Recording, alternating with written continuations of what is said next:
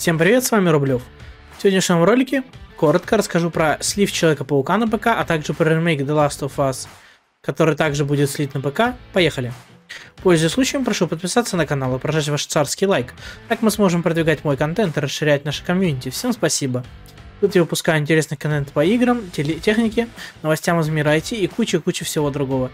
Итак, к ролику. Да, Человека-паука слили на ПК, плохо ли это? И ремейк The Last of Us будет слит на ПК также, и Паук Майлз Моралес. Так плохо ли это? Сложно сказать. Ведь, с одной стороны, еще больше людей оценят и заценят крутую игру, и, возможно, купят себе консоль ради продолжения, потому что оно выйдет не скоро, именно на ПК. Ведь это делается в основном для для этого, чтобы люди купили продолжение. С другой стороны, неблагодарные ПК-игроки, чтобы поджечь одно место у консольщиков, пишут а спасибо за бета-тест, что не есть порядочно и правильно.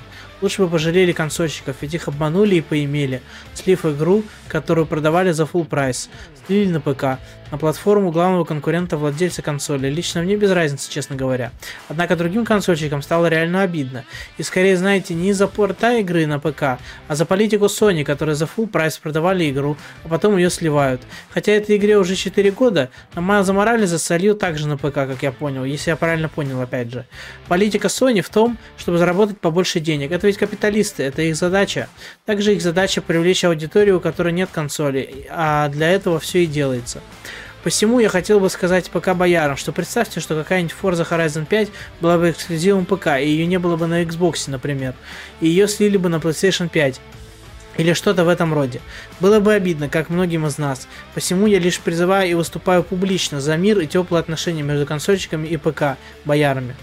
Также вражда никого не доводила ни к чему хорошему, да и не приводила, как-то так. Спасибо, что смотрели видео до конца. Если видео вам понравилось, можете поставить лайк и оставить комментарий. Также предлагайте свою тему для ролика и не забывайте нажимать на колокольчик, чтобы не пропускать новые видео. Также подписывайтесь на мои другие каналы, ссылки есть в описании к видео. Рекомендую посмотреть два этих ролика, они должны вам понравиться. Всем спасибо за просмотр и всем пока-пока-пока.